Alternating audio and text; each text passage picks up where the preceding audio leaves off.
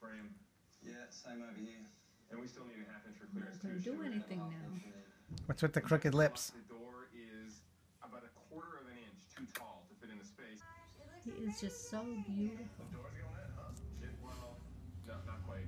We, uh, we actually, What a the- Dylan, Jonathan used the word engineer. You which gotta wake sounds up and expensive, so Grandma can hold you. But, um, at the same time, maybe it's a simple adjustment and, and we can get by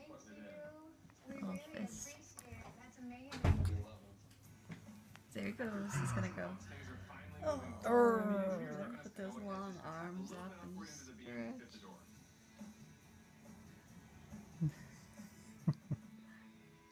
Come on, open The, those eyes. the eyes haven't opened yet. No, To do, but today Not quite. No. Bruce back to the house. Cameras are in. I kicking around with the legs. Oh. I want to go back to sleep now. Changing his diaper will wake him up. Yeah. Oh, yeah. He's stretching. Yes, you have a lot of sneezes.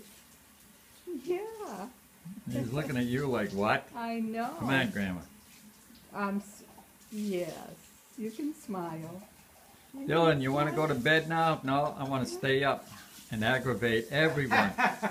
That's my, Okay. job. Hi.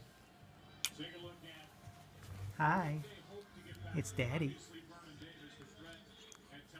You're cute.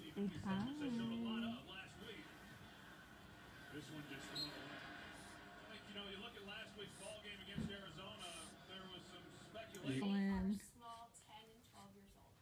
what if I have got here the phone?